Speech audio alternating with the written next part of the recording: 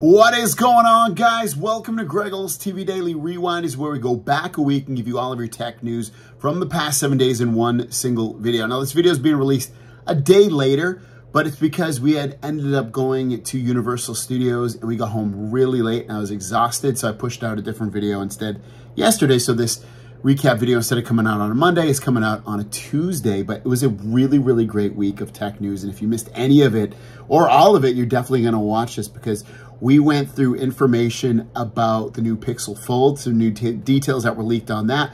We talk about the Galaxy Z Fold 4 and Flip 4 and some official video releases that have come out from Samsung and some details we noticed about those. Galaxy Buds 2 pricing being very expensive and so much more. So enjoy this week and we'll see you in the next one. It's kind of...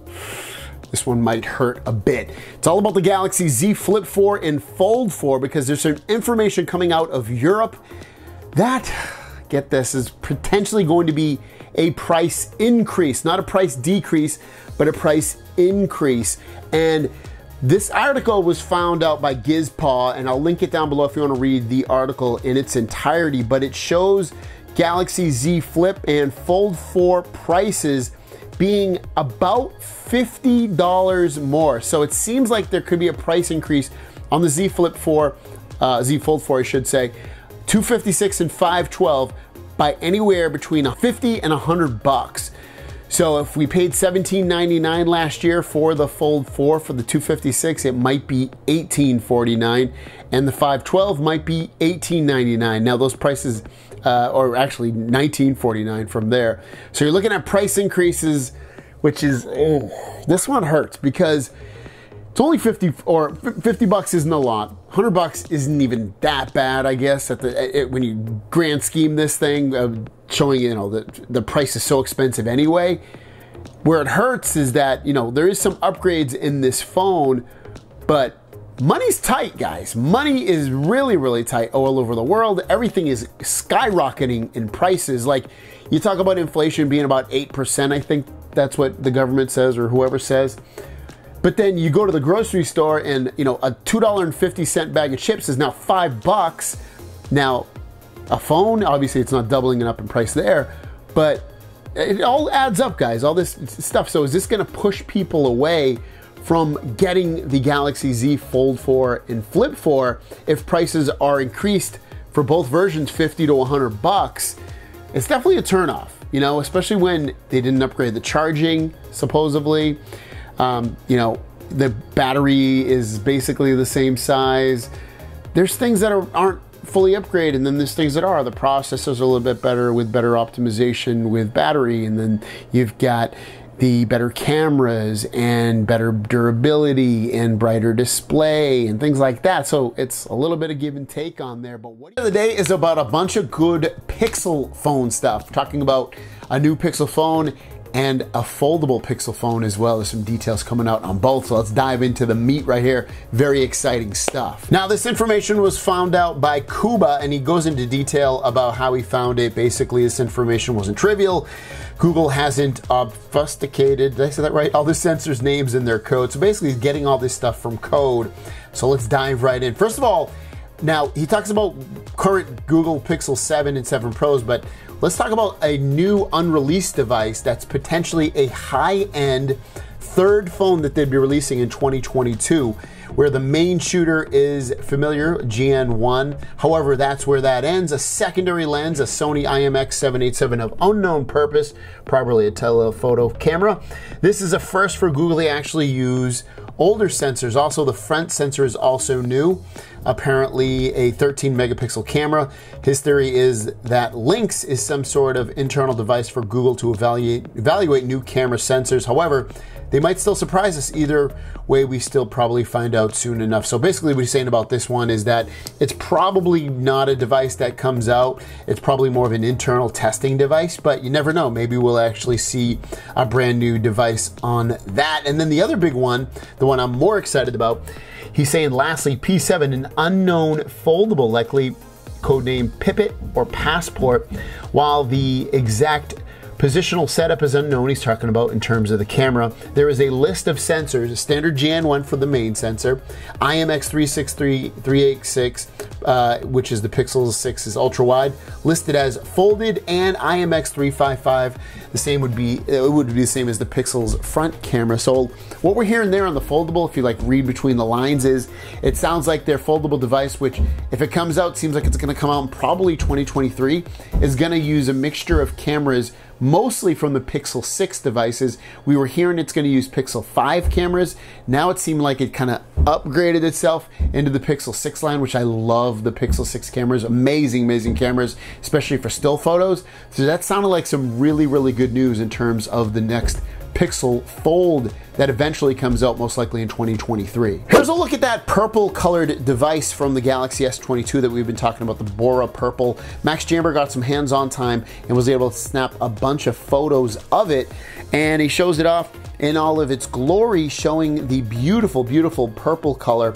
And then Anthony Galox actually compared it next to the violet. So you've got on the left the Bora Purple, and then on the right the violet, and the Left, you can see that Bora Purple is just a little bit more richer, which I think I appreciate a little bit more on there. Let me know in the comments down below which color you like, Bora Purple or Violet. Next up is about the Galaxy S23 Ultra and it doesn't look like they're going to be upgrading one of the cameras, at least one of the cameras on there, or if they do, it's going to be a very minimal upgrade. This is the latest coming out of Galaxy Club. Galaxy Club is saying that the S23 Ultra will be sticking to a 10 megapixel 10x telephoto camera. So if you are a big telephoto fan, it looks like if they upgrade, it's probably going to be more software-based upgrades rather than hardware-based because that's the same potentially the same lens and sensor that they use on the S22 Ultra 10x and 10 megapixel telephoto. So they might be trying to keep their costs down for the S23 Ultra when it comes down to it. At the end of the day, you might see the same cameras across the board again for, for that.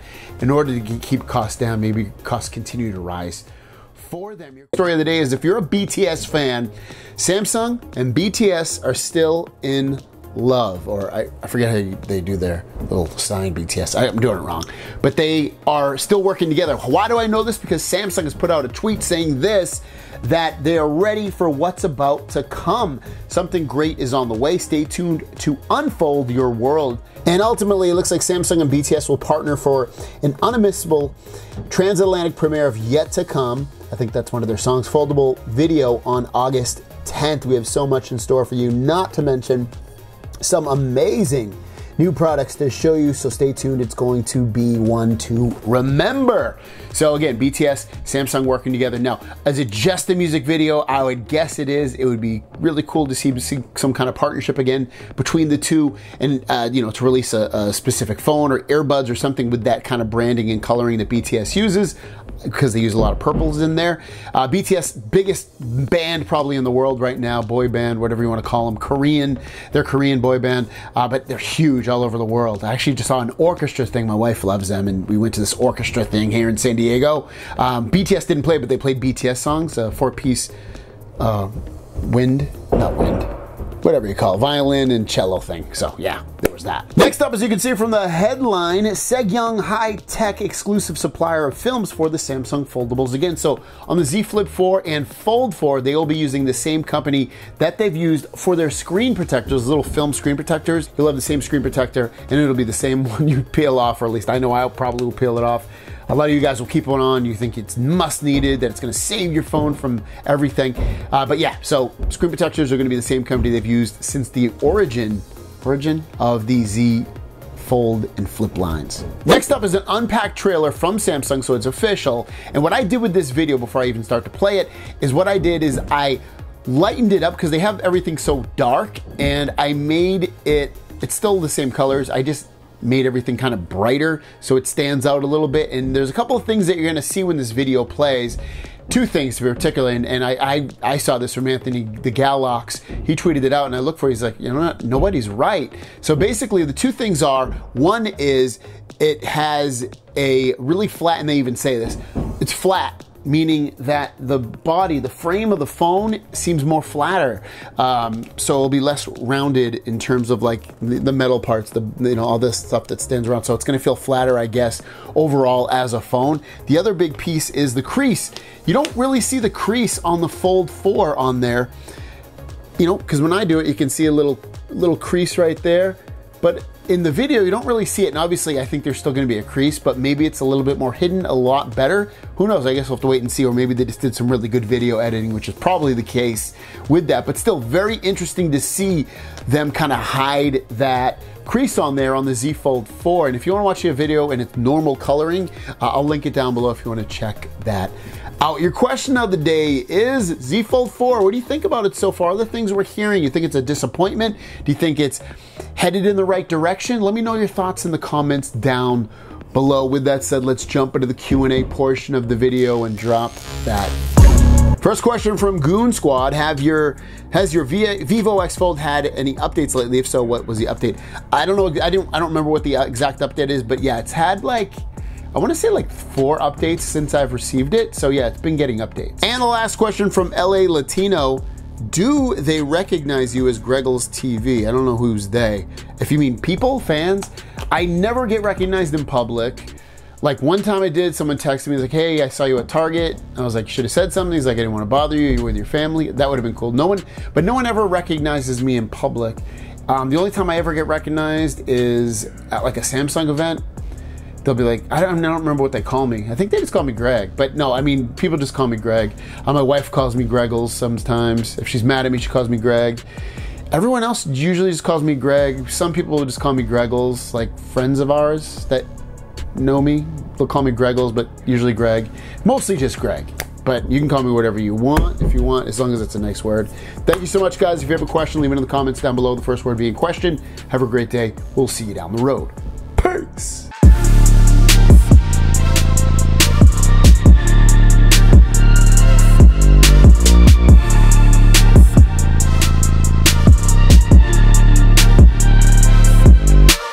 What is going on, guys? Welcome to Greggles TV Daily, your source for daily tech news. Make sure you subscribe so you know what's going on in the world of tech. How's everyone doing?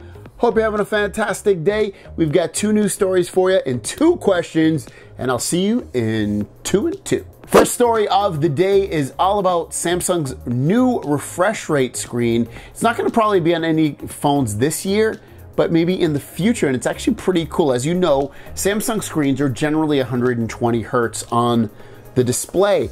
And they have a LTPO screen, which will means what it, what it does is it tones down that refresh rate maybe down to like one hertz when it's not really doing anything when the, when the screen is just static and it won't go up to 120 hertz allowing you to save battery life. Well, they're coming out with a new technology that Galaxy Club has found out where they have patented a display simultaneously using different refresh rates in different display areas for improved energy efficiency. And it sounds just like it is. So you could have a full display and it might show 120 hertz here and then down the rest of the half of the screen, maybe it's one hertz and vice versa so that you're not because maybe you don't need 120 hertz all throughout the display this will give you better battery life and let you use your phone more throughout the day so that you can talk to your friends even less. Next up are about the Galaxy Buds 2 Pros. Now we've spoken about the price potentially being $229.99 or 230 bucks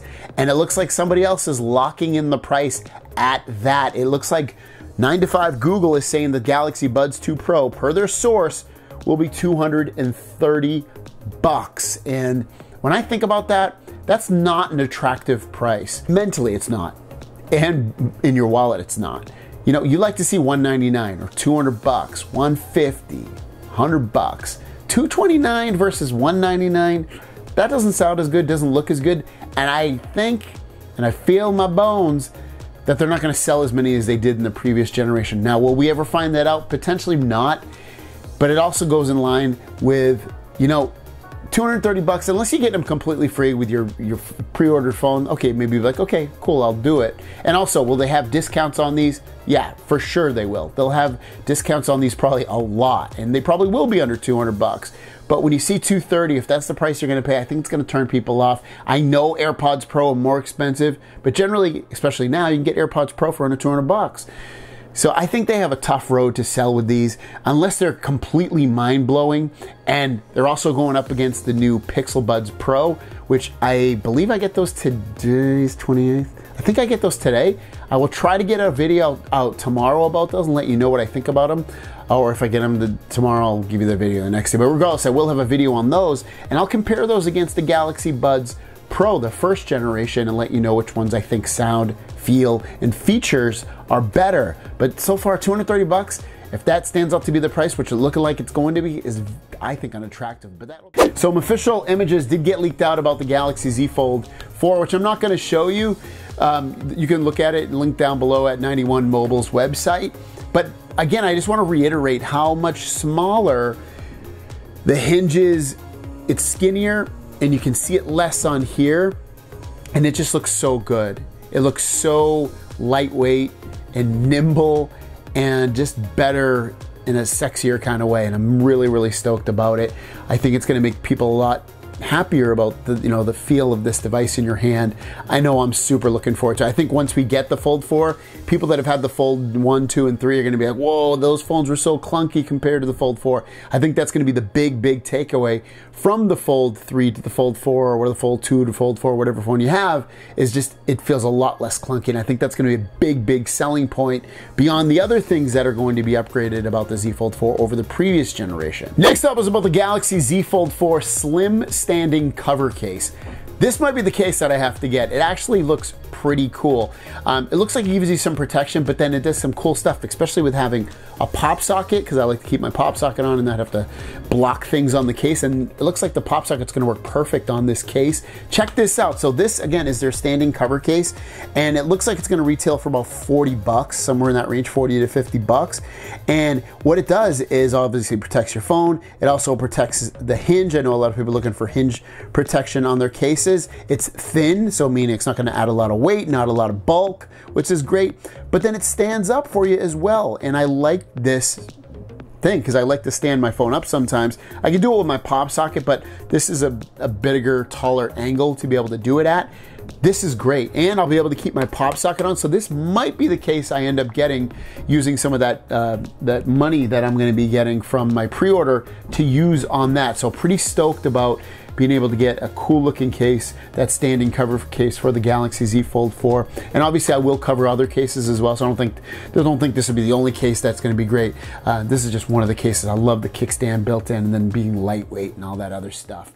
First story of the day has to do with the Galaxy Z Flip 4 and a feature it will not have again.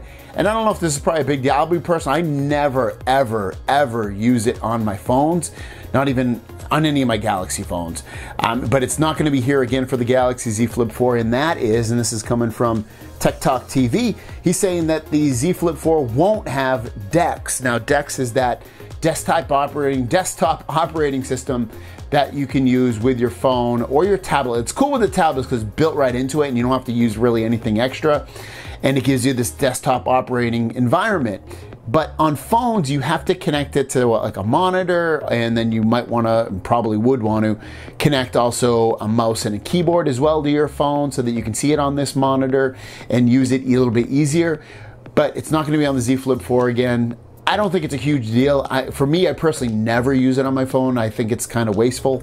I wish Samsung would come out with an official dock. I know there are third-party docks that you can get, but Samsung should really come out with their own dock where you would place your phone inside of the device and your device turns into this little laptop that you can use. I think they would sell a lot of those. I think people would be pretty stoked about that, but at the same time, they probably wouldn't buy the Samsung laptops. But what do you guys think? Samsung Galaxy Z Flip 4 not having DeX. And our last story of the day really isn't much of a story. It's more of me just saying this, and I'm not gonna show it. If you wanna find these photos, all you gotta do is go on Twitter or Google and just type in Galaxy Z Fold 4 white or whatever color they, they, they're calling it. But I'm gonna call it oatmeal. It's called beige, beige or white. But basically the Galaxy Z Fold 4, that's the color I'm getting. I've made a final decision after seeing multiple photos of this thing. I'm going to get the Galaxy Z Fold 4 in beige oatmeal. I like call, let's call it oatmeal. It looks like oatmeal to me, and because it, it, looks a little bit gold, looks a bit white, a little bit beige, a little bit oatmeal, but mostly oatmeal. It looks fantastic, and it's definitely the one that I'm going to get for sure. Unless it's like, hey, these are already sold out, or you're not going to get this for months. Then okay, I won't get it. Or if it's limited to like 128 gigs or something, or you know something something just off about it. If it doesn't come in 256 and it's to be late, let's say that much, I won't get it. But otherwise, this is the one I'm definitely planning on getting. And this information comes from Reddit. I saw this on Reddit, and it's a post coming from a person that works at a carrier store. Like for instance, I don't know if he works at this store, but he works for like AT&T. A Samsung rep came in with the Galaxy Z Flip 4 prototype, spoke about the phone, what that phone had, and what the Fold 4 will have. Most of the stuff we know, but it's kind of cool if this, you know, ends up coming out. So let's just talk about what exactly we heard, and it's coming from won't even read the name, but uh, you can imagine what it sounds like. Just got my hands on a prototype Flip 4 for a few hours. Like the title says, I work for a carrier, and my Samsung guy came in today for a few hours. Got to play around for a few hours. He likes the word few hours with my prototype Fold 4. Phone basically looks the same. Cameras do stick out more, and the edges are definitely shiny like an iPhone 13 Pro and Pro Max.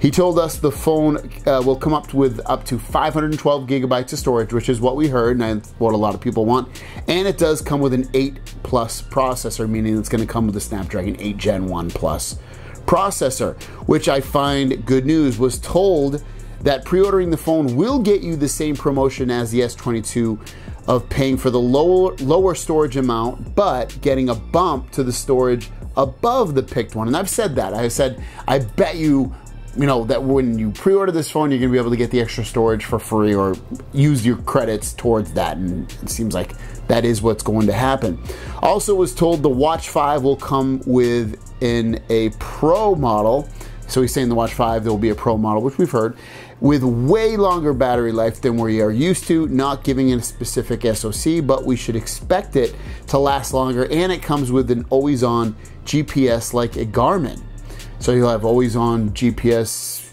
like a Garmin. I guess he already said it. Also, the Buds Pro, he's talking about the Buds 2 Pro, uh, will support 24 bit audio, which we have heard, which is a higher quality audio bit rate.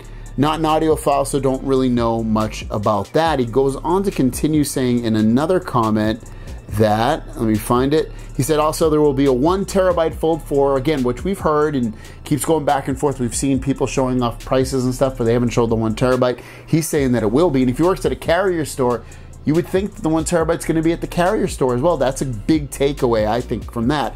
We were also told about $29 screen repairs on the Z Fold 4. That's huge, especially if you don't have to get any insurance with the phone and it only costs 29 bucks for screen repairs. Again that's going to be absolutely massive. But i don't know much more than that and he didn't explain more. And of course no sd card slot uh, and space zoom on the fold 4 almost forgot. So we've heard that heard that too that the fold 4 is going to have updated cameras and that the cameras he's saying in even more of the stuff if you read more through the thread that it's going to have cameras more like the S22 Ultra, but from what we're seeing megapixel wise, it's going to be more like the S22, S22 Plus. He also said space zoom, space zoom. Now, you might think space zoom it's to have 100x, but space zoom is also considered at 30x, and that's really what it's supposed to have is 30x. But that obviously could, could change with any of that stuff. So very cool stuff that we heard from it. A lot of it stuff basically we already knew, but you know, and what it is maybe he's making all this stuff up. But regardless, it's still exciting. I love the anticipation of everything. And uh, my question to you is out of everything we talked about today, what's the thing that's most exciting you about that Fold 4? Or what seems the most interesting, the most intriguing? Let me know in the comments down below. Again, no question today in terms of me answering for you. Have a great day, and we'll see you down the road. Peace.